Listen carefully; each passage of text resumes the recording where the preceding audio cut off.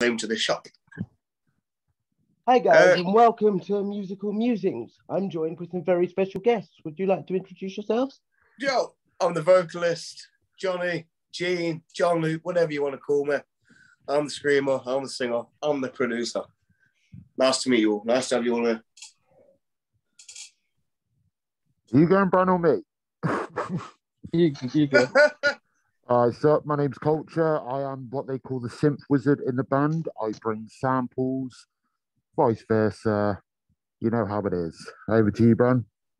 Um, I'm Zumi and I play guitar and uh, try to play guitar anyway. Yeah, that's pretty much it for me. Hey. Okay, and collectively, what are you guys known as? well, inflictions. That is that is the name. That is the thing.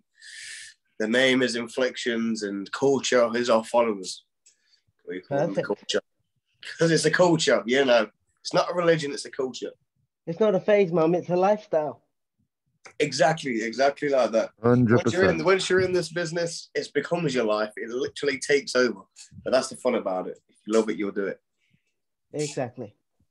So, I suppose the first question my viewers would want to know is how do you all know each other? Well, uh, well, obviously the guitarist I've known since I was like a, a tiny, a tiny kid, not that small, but I, I was, I was little.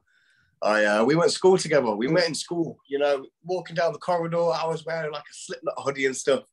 And then, and then, and then my guy was like, "Oh yeah, do you like Slipknot?" I'm like, "Yeah, bro." You know, in our squeaky voices that we had when we was like ten years old. Let, let's call it Baby Zumi and Baby John. Yeah. Baby Zoom and Baby John. In those times, yeah. And um, yeah, there was a music class and we jammed and stuff, and it just, you know, we stuck together through the years. So that was, you know, that was quite interesting how we met. Mhm. Since 2007, to be exact. God, whenever we started school, I'm 25. I don't know when you start school, but he joined school the same time as me. So 07 Yes. it was. 07. Oh yeah. Good year though. Good year. Don't remember much. I was 10 years old probably.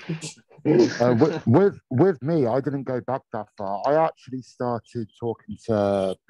I met Bran on a game called DayZ, a top game, top quality game. If you don't have it, you might, yeah, you need to get it. Uh, he was playing on Xbox with my friend at a party, and he was like, "Oh yeah, you know, I make music." And then uh, my friend at the time was like, "Oh look, this guy does music, Bran." So me and Zumi spoke. We actually worked on two tracks together, which was my own my own style, my own music. Next thing they were know- banging, by the way. They were good tracks. They were actually banging. It, Oh, tell you what they are. Go check them out. Thank you, John. It had no inflictions though, buddy. Thank you. Uh, I'm joking. Still good. Still Uh, good. uh, and and then obviously we both went off the radar for a bit. We never spoke to each other. Then we came back in contact. Worked on one song called "Y'all," which is like a Christmas metal song, which hasn't been released, but one day it will probably see, you know, see the world.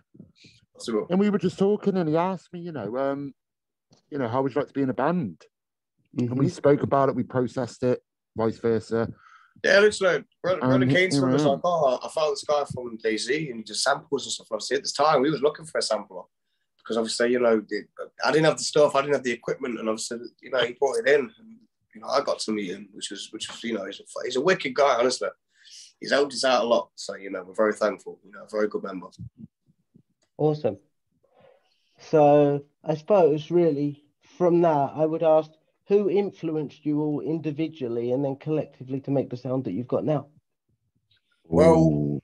I've I've always, always, and I'll always say this: Slipknot, Stone Sour, Corey Taylor is like the soul of my influence. Mhm. Like I remember finding like I was in school and I heard Psychosocial, but it was like an uncut version, so it didn't have the limits of the dead and all that stuff. So I was like, wait, I heard that part and I was like, hang on, wait, this is actually insane. This is mad. So I I got hooked on them then. Ever since then, Slipknot, Corey Taylor, just you know, I just inspired to scream like him, sound like him, but you know, not too much like him, but my own, you know, my own twist, my own style, my own vocals. Yeah. Um, I think for me, I started off like in, you know, a lot lighter stuff like Fightstar, um, all that sort of like post-hardcore stuff. Then I obviously met John Luke and we went into like Slipknot, Stone Sour, Korn, sort of like all that old school stuff. And then it just got heavier and heavier. So basically as as we got older, we just listened to heavier stuff really. Uh huh.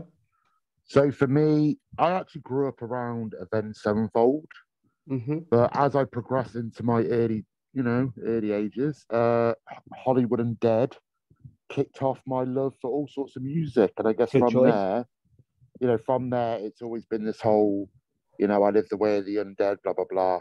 But other influences would definitely be um, Ice Nine Kills. Uh, with regards of like my sampling, I would definitely say a band called I See Stars Mm-hmm. they they do dubstep metal, and I think that's where I kind of get that love, you know, for the mix of them together.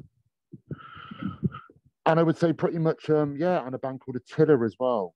I would say those are my top influences. Fucking good influences, I'll tell you that. They That's are get- actually. gets Yeah. you to the soul of music right there. Now I'm going to throw this in here just for the viewers to give them a laugh, and it might even give you guys a laugh. I'd Oh, only listened to Slipknot this year.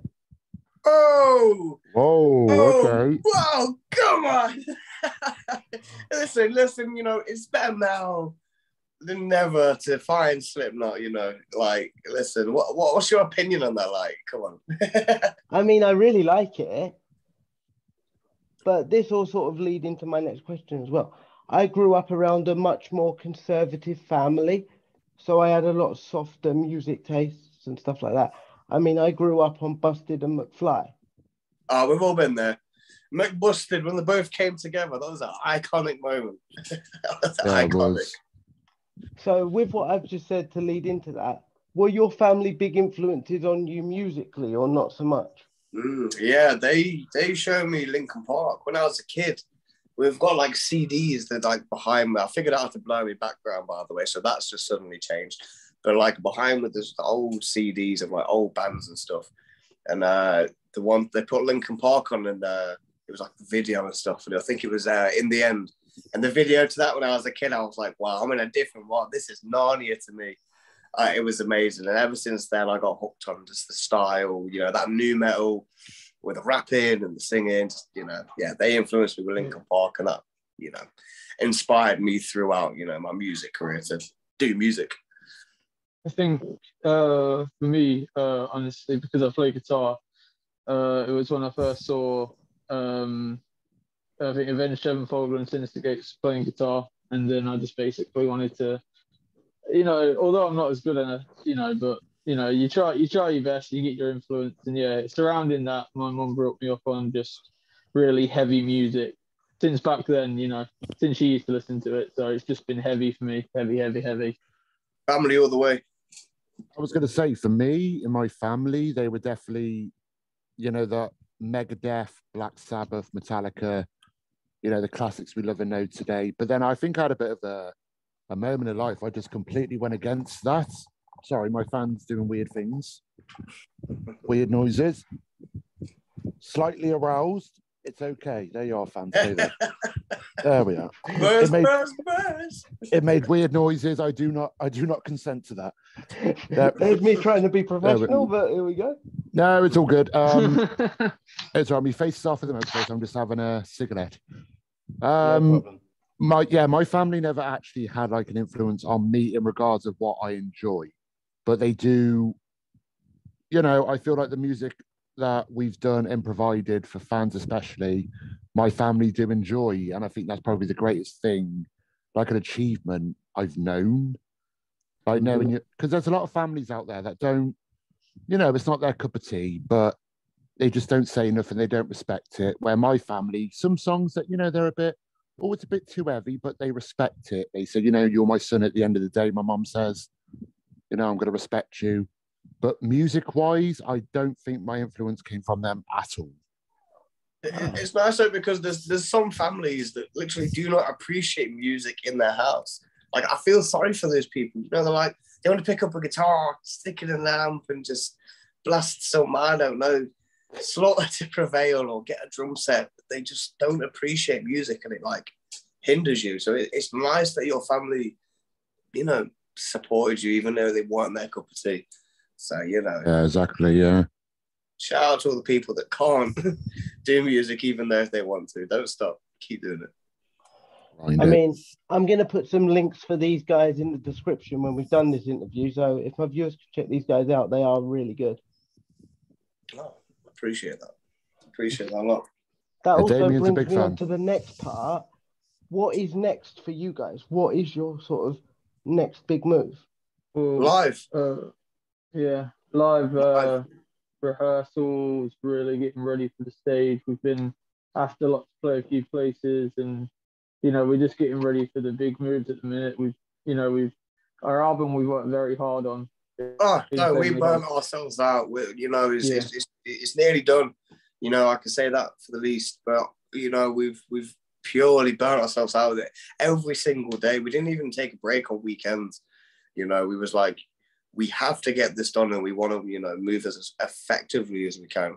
You know, mm-hmm. Yeah, next move is to make the sound just sound as good as the studio. We won't any less. We want the best for our fans and ourselves.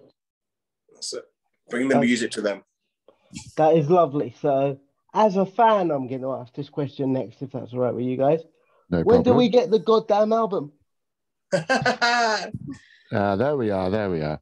Oh, there's no big question. When does it all come out?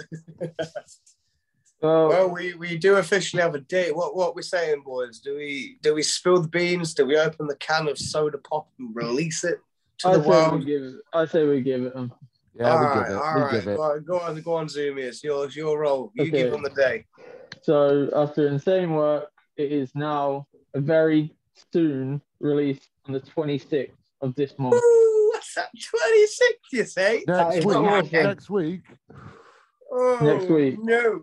we Uh, do this. We do this for everybody that supports us. So we're giving you guys the best we can. Now, my next question is individually, have you each got a favorite track on the album? Oh yes. oh, yeah. go. 'cause Oh, listen, yeah. that- that is such a tough question because, like, every song we make is like, oh, this is the best song. We'll make another song. This is the best song. Yeah. and it's so hard to go through them because this album's so diverse it's got so many like different kind of elements in there like you know there's a bit for everyone in there i think for me it has to be cardiac i was lean on silent days or i'm not going to dismiss silent days because i know a lot of people that are watching this go wait what about silent days that song is a cracker but this new song there's just something about the sound and just everything about it. It's just in your face. It's constant. Um, I'd probably say my favorite track is due to being the most fun to play would have to be would have to probably be uh, a brand new track we're working on that I can't really you know say much about. Oh, oh, oh, it's Oh. more insights. Um, Now, as a fan, I'm like, tell me, but obviously, I respect you guys creatively. See, we can I, I'm assuming we can just tell you guys a name because the album's going to show all the names anyway. Yeah. So like, the new song is we- called is it, it let's we might as well tell them. It's Yeah, called, come on.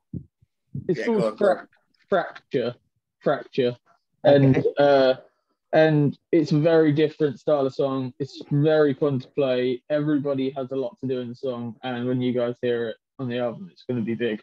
shall I shall I say about the uh, the little extra on the song? You know the the other. You know. Yes, yes, you do. All right, Yeah. there is a feature. There is a feature on that song. We're not saying who just yet, but there is. Are we talking big name? You know, he's done a lot of. You know, I can't give too much about what he does because then you'll know what the feature will be doing. Ah, That's got to keep the song quiet. But yeah, he's he's got a good name to himself, and he's been around. He's performed a lot. A lot of people do know him, so we're just keeping that on the hush. We're keeping that quiet. ah. But yeah, there is a feature. I would say for me personally, in regards of like we go back to like influences, sounds, and all that. The Mhm. new one, Fracture, is very much my cup of tea in regards of how it goes. It's just everything in one song. It's, I mean, if you hear it, when you hear it, it you're gonna be like, "What the fuck?" So you're, let's you're say hit- let's let's you give a you know what we're saying. Should let's give a little idea of what the genre's going to be like because no one's going to expect it. I think we should. And even if I say it, people are going to be like, "How does that?" So UK drill. We all know what UK drill is, right? You know, you're a bit like, you know, you're a cool guy, you know. So it's got a, it's got the influence of some UK drill in there, you know. Yep. And If that's it's- gonna if be, it's- uh, One thing to describe, I'd probably say grime metal. Prime Ooh. UK drill. It's gonna it, it it goes hard. I'm gonna tell you, it's a bit more brutal. You know, Yeah. so yeah, that's all we're gonna give on that. That's all we're gonna give on that. I mean, as a fan, you can see the excitement on my face, right, guys? Yeah. Honestly, Oh, yeah, you, you wait until you hear it. It's gonna blow you away. I can guarantee you. I mean, John, do I have permission to say the name of one? Well, no, I haven't even got to say the name, have I? Well, you know what? Everyone's going to know it, mate. It, it's coming out very soon, all the track list and all that. There is a song on the album called Remember Me, Oh, oh, which, wow. and I'm, I'm a bit of a weird soul. so I'm a bit of a weird soul. So depending on how I'm feeling, each song is, you know, has a different meaning to me. The way, the way, But- the way we, like the way we did it basically was we went in the album, and every song was on from a different time and riffs I sent to John. So we went in the album, we perfected it, and every song is supposed to sound in its own world, but it's all the same. So the album is very versatile. That's what 100%. It's it's very much like how you feel in like two seconds of a moment. You imagine like you have a 24 hour day and your your emotions will guarantee change throughout it. That It's that like album is like a roller coaster of emotions. Hundred percent. Yeah, So I would guess you say- say you're taking us on a journey. Oh, yeah, 100%. Yeah. Oh, definitely, definitely. It's you know, it's how we felt in the moment of making it, what kind of emotions we was going through, and you know, it just reflects in all the music. Yeah, so I would say, like I said, my top is actually probably cardiac for me. Hey. Um, but when I'm feeling a bit under the weather, when I'm feeling a bit under the weather, it's definitely a song called "Remember Me." Yeah. That will be exclusively on the album. You know, we will be releasing that as a single. Just you know, that's that's an album surprise. Shakes his head in disappointment. Ah, yeah. but, but honestly, I think you know, for everyone that will listen to that song, you know, it's a lot more heartfelt. Let's just say that. This album is worth the small wait that there is. not long left. Not long left until it. Don't worry, you know- guys. I will plug that. I will put the date in the description of this. Don't worry. Yeah. But where do you see yourself in like five years as a milestone, for example? honestly, it's it's going to be constant live live performances and more albums. So it's, it's working up the chain.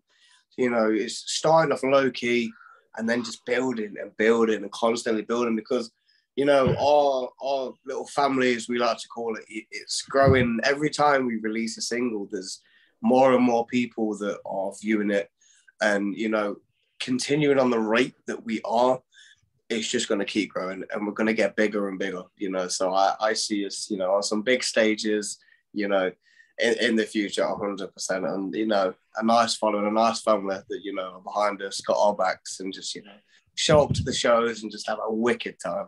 Well, make sure you say- remember this guy when you're big, yeah? Oh, 100% We we will will. remember you. You- do not worry You get We- special treatment, Damien. You're fine. Well, I've got We, special uh, needs, so why not? oh, Backstage. that, we, we um, when uh, when we released this album, we had a flood of messages asking us to come to places we never even heard of before. It was insane. Like we've we've only just started and we're being asked to play so many shows. that's It's it absolutely oh yeah yes mad. it's crazy it's like the last the last two days have been interesting. We actually um I was scrolling through YouTube looking for like inflictions, just going back on some videos. And there was a page, like big up to them if they watch this, they're called Sound Explosion. yeah sound explosion yeah And Yeah. they and I just realized well they they shared our single called Inception. And like everyone's commenting going, This is amazing. And then they shared Sub Zero and Cardiac. Yeah, yeah. And I and I woke up again today and I'm viewing the comments. And you got people coming to our pages, you got this, you got that, and the responses are overwhelming. yeah There's so many Yeah. people that coming really in. it, it's mad that it came it came out of the blue for all of us because we weren't expecting it you know Mm. but it's nice to see someone that really enjoyed our music and seen it and Yeah. put it you know put us on their page to just I you know let their yeah. fans listen to it you know like check out this band and people really enjoy it for like for like the question you asked overall, you know, the five years thing, I think for us all, we can agree that we'll be playing every single show we, we get a chance to. We're not slowing down. This is a Absolutely. It will be non-stop. I will have to go on runs. I'll tell you that. I will have to start jogging to keep up with the pace of this. Oh yeah. And know, I would say I'd join you, Feel but- like all casual and stuff, and I'm like, hang on. yeah, I need to start jogging. I need to start working out a little bit. I'll tell you that. Ready for gonna start a little vlog called uh, John and Zoomy Run.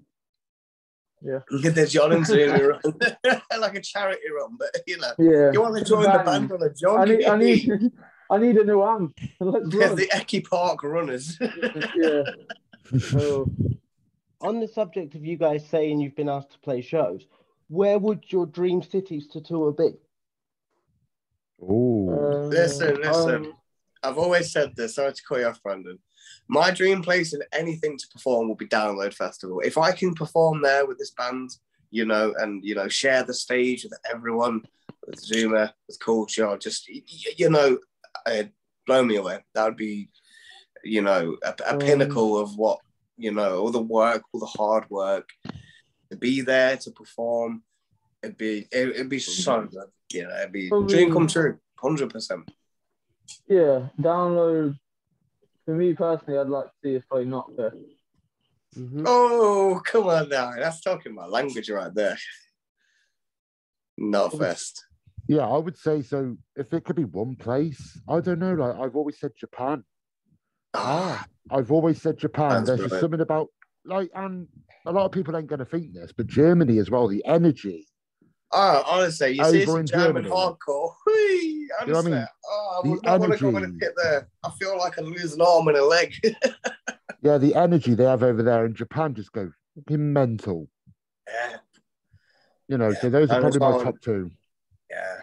Just the place in overall, you know, Japan, the, the whole place is just somewhere to be to belittled with. Like, wow, look at this, look at that. So to perform there, hundred percent. Ah, that's brilliant. That's brilliant. Uh, and I suppose my final question for you guys, because I'm aware that one of you has got to go in a minute, would be what is a message you want to give your fans right now? Listen, we appreciate every single person, you know, that's Mhm. that's viewed us, that's followed us, that's that heard us from day one and has stuck, you know, with us. Like it's it's crazy, you know what I mean? Like it's growing and growing and growing, and you know, we respect every single one of you. You know, we hope you can follow us on the journey, you know, and to support us. That's all we want. That's all we want. Just your love and support. Mhm. Thank Yeah. you so much for your time, lads. No worries. So they're welcome. It's been wonderful, and hopefully, I'll have you on again when you're big. Oh yeah, you definitely will. Buddy, buddy, you can have us whenever you want. Yeah, hundred percent. Thank you, guys. Brilliant. Thank you, Thank you very Damien. much.